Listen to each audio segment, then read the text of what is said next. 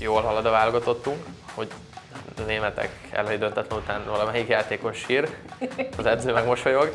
Séfer András sírófotója, amit Marco Rossi vállára dől, sokunknak bevésődött az előző elvéről, de hogy vajon fog-e akár örömében sírni kitűnőségünk a németországi elvén, ezt is megkérdeztem tőle Berlinben.